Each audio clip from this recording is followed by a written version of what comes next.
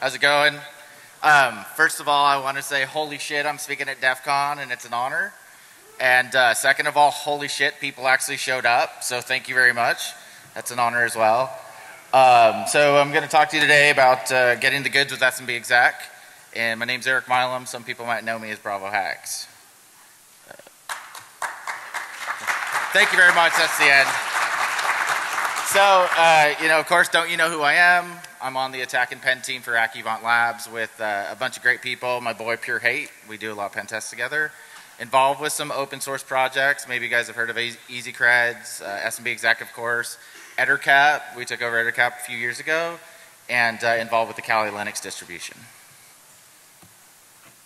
So, uh, what is this all about, right?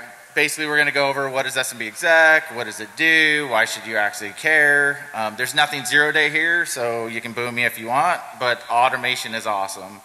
Um, this is a tool you can use immediately. It's not some weird exploit that you know the sun and the moon have to align on a certain day. Um, and it makes post exploitation much easier, at least it has for me. So what is SMB exec? Uh, SMB exec is a bash script because everybody who knows me knows I don't know how to code for shit. So, but I'm very good with the Googles and uh, I just put a bunch of shit together until it works. Um, so it's about 1,500 lines and about a million different functions. Uh, put it together in a week, uh, about an hour, about 100 hours worth of time, about you know a year's worth of Mountain Dew.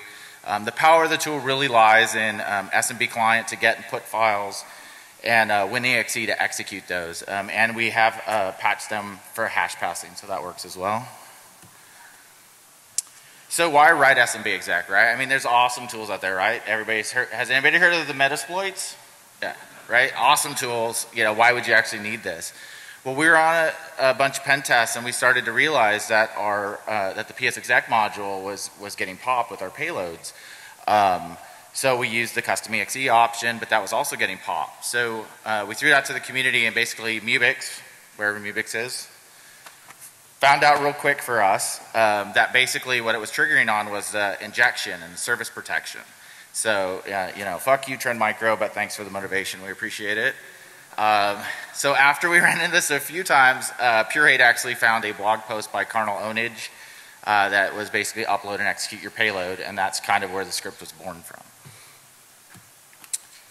So originally, right, we just wanted to get our shells. We wanted our shells, um, so we wrote it so it would create an obfuscated payload that would bypass most AVs. Um, the newer versions, you can actually enable Hyperion uh, cryptor.exe and uh, encrypt it as well. Um, we also had it so it would create a Metasploit.rc file for us and launch that. It would either launch it in Xterm or screen, depending on um, you know what you've commented out. If it, if it doesn't recognize X is running, it'll automatically launch the attacks in screen. Um, so that's kind of where it was at. And then we started learning a little bit more about WinExe, and we're like, you know, hey, we can basically run native Windows commands, and there's a lot of cool stuff that we could probably end up doing. So I'm not a Windows guy, so again, I went to Google, and Google told me what to do. Um, and we started uh, realizing some of the, the, great things that we could do with it. Because what we really wanted the tool to do was to basically kind of go undetected and just look like normal Windows, uh, you know, um, traffic or normal network traffic uh, to our victims. So, uh, WinExe, I don't know if anybody's familiar with it. I hope you guys are. It's awesome. It's similar to the sysinternals psexec. Um, modules, I'm sorry, the sysinternals psexec tools, um, and it also has a system flag. It also has an uninstall flag, which is also awesome, and I'll explain those a little bit uh, later. Um, there's no, you know, quote unquote payload necessary. You can basically run WinExe uh, and just issue CMD, and it'll give you a command shell back on, from the victim computer without executing a binary. Um, and it looks like normal Windows traffic to OPSEC. Basically, you're getting what they should end up seeing is a successful login over the network. Um, there's, there are some caveats, which I'll discuss later, uh, that might be red flags. Um, so if you can execute commands a system, right, the possibilities are virtually limitless.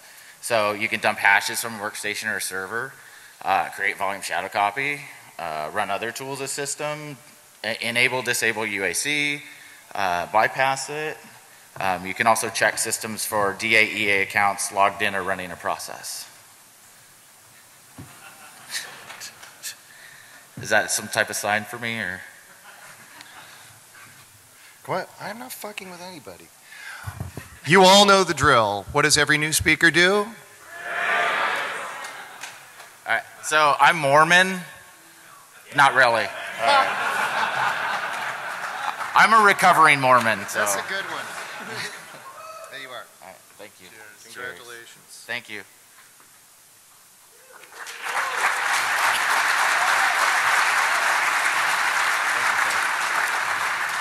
As you were. Thank you. No problem. Thank you. Let's see him get back into it now. Oh, you can't hear me? Okay. I, I know. All right. So is this better? All right. I apologize. Okay. So where were we at? So basically, we can execute shit a system. Fuck it. We might as well.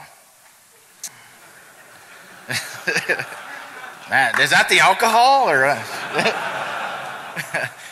so we're like, well, holy fuck, let's get some hashes, right? You know, old school way was to get the uh, get the registry keys out and do it. So fuck, let's automate that.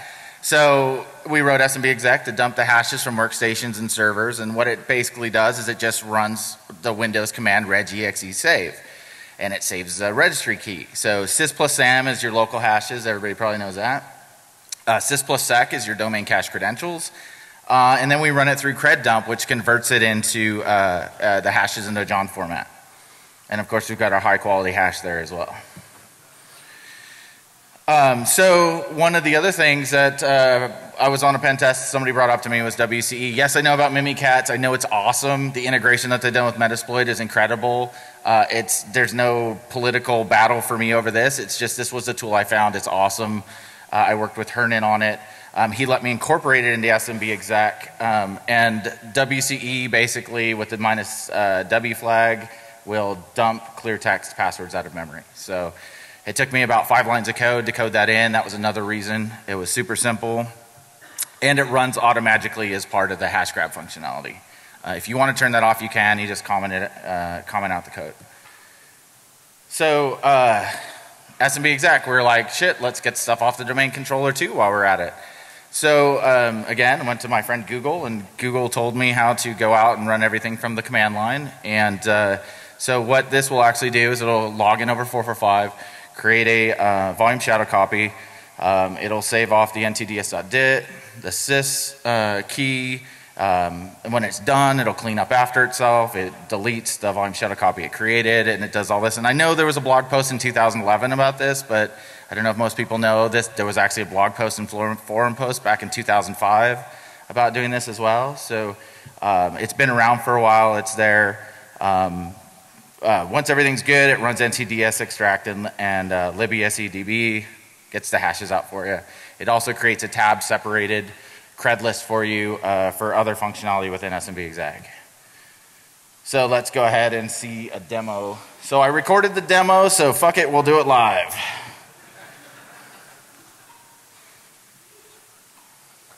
You guys, uh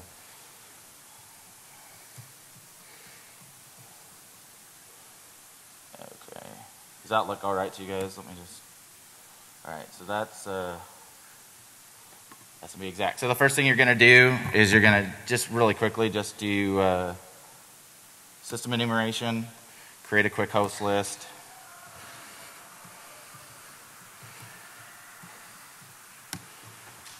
And basically what it's just doing is just doing a quick nmap scan looking for systems with 139.445 open and it builds a list for you.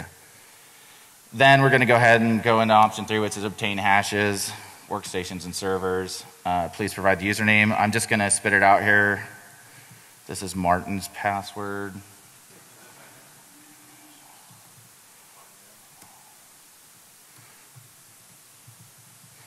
So feel free if you see pure hate anywhere, that's, uh, that's how you log into his accounts. Um, here it's a local account. Again, thanks to Mubix. Local, uh, this will uh, give it a, a period or a dot, which is how de developers um, recognize local host. And then it recognizes that there was a host list created, so it's going to run against that. So this does take a little bit of time. You'll see um, it's basically what it's doing is going out, it's authenticating, uh, it's logging into the box, it's pulling down the uh, registry keys, And then when that's done, it will basically upload um, my obfuscated WCE. It'll run that command. It'll pump it all out.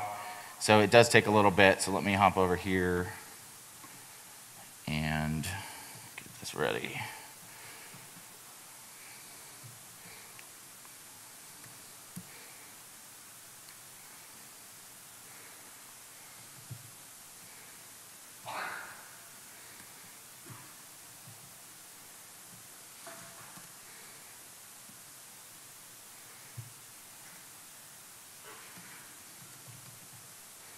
Just getting rid of some of the stuff here that I know comes out of it and then sort. Can everybody see that? I made the font super big, so. Okay, cool. Uh, I'm a little hard up here, but. but I try. Is that a red card? Okay. So there we go, right? So basically, it's pretty much done. There's our local hashes. Here's our domain cache credentials.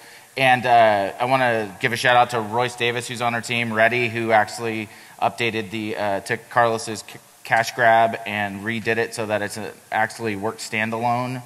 Um, so that does include Vista as well as non-Vista versions. And then here's what I love the most, if I, if I could spell right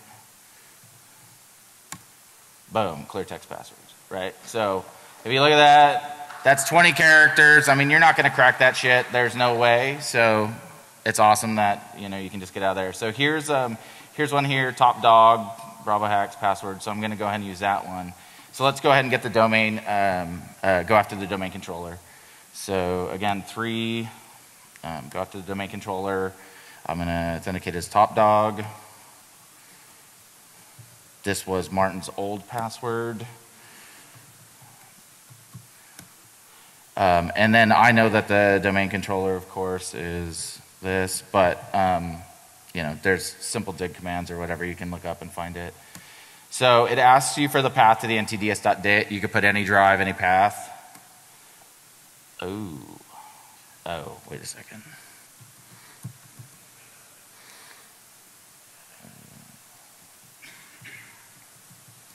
It helps if I give it the correct IP address.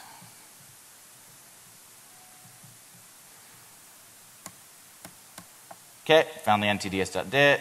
Now it says, where do you want to save this stuff off to, right? You can give it a different path if you want. I'm just going to leave it the same, see Windows temp. So it checks to make sure that the path provided actually exists. It checks to make sure that there's disk space. It creates the volume shadow copy. It copies those files off to your local machine, the ntds.dit and the sys. It then uh, deletes those files that were created. It removes the volume shadow copy that it created. And then it runs e, uh, esedb um, to extract it and ntds extract to get the, uh, get the hashes out. And you can see it's running there. Takes a little bit. Dramatic pause here. And then success. Looks like we got what we came for. So let's make sure that's, that's, uh, that's true.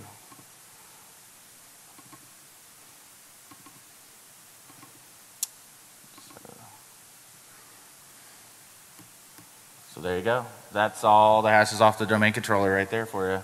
And it was like you were never there.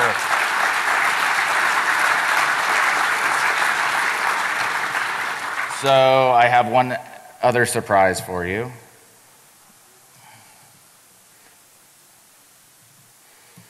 Might not be much of a surprise, but here's the domain controller. Oops. Did I spell something wrong? Oh. It's our, our desktop, right? Oh, thank you.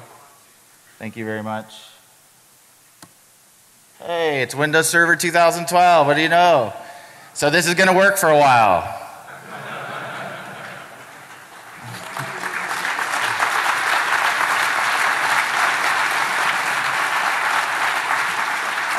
All right. So, uh, hold on, sorry.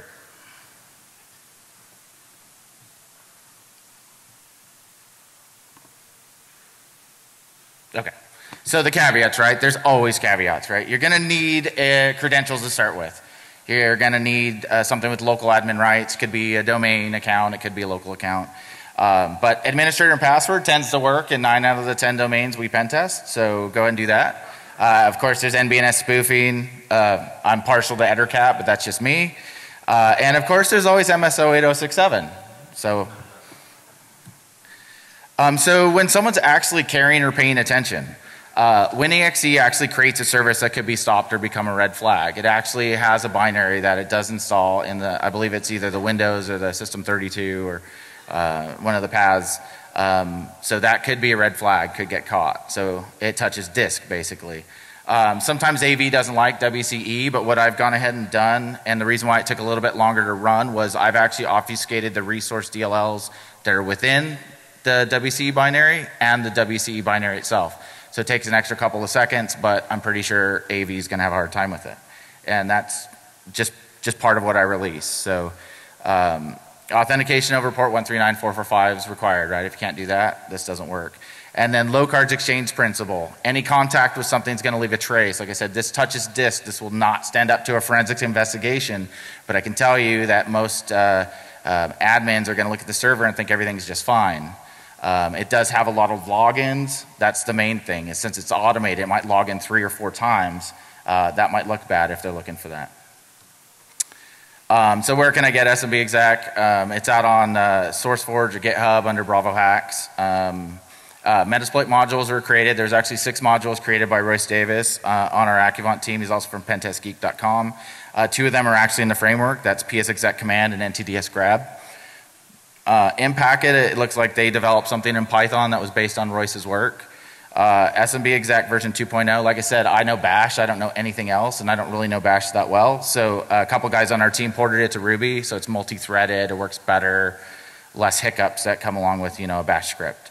And that's uh, Brandon McCann and Thomas McCarthy, uh, also from Pentest Geek. Um, so credit where credit's due. Of course, WCE, Hernan Ochoa, SMB client, and WinEXE hash, patch, uh, hash passing patches. Uh, Joe McCon, Emilio Escobar, who's also the lead developer of EtterCap. Skip Duckwall, of course, Mr. Duckwall. Uh, you know, uh, the original Vanish script, the Samba team, of course, WinEXE. Uh, Metasploit, HD, Egypt, everybody, thank you so much. I appreciate it. Fedora and Map team, uh, Cred Dump, NTDS Extract. Uh, the list goes on and on. So basically, I couldn't SMB exec really wouldn't work uh, without that. Um, so I don't know if I have time for questions, but please give to Hackers for Charity. Go buy a T-shirt or something. We love those guys. Um, on Twitter, I'm Bravo Hacks. On IRC, I'm Johnny Bravo. Thank you very much.